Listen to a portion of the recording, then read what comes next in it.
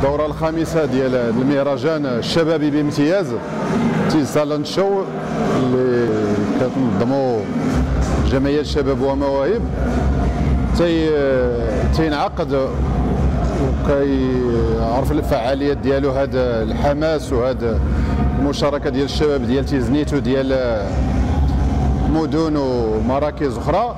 كيأكد كما قلت في الكلمة الافتتاحية أن التعطش ديال الشباب التنشيط الثقافي والفني والإبداع لا يوازيه بالنسبة لنا إلا هذا التحدي ديال أننا نكونوا في مستوى الانتظارات ديالو.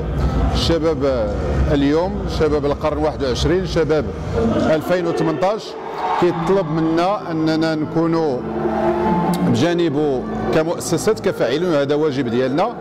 ماشي منا ماشي فافور ولكن آه، واجب كيخلينا نتجاوبوا معاه ونتفاعلوا معاه بكل تلقائية. اليوم كما شفتوا في هذا المهرجان الشبابي آه، طاقات آه، خارقة.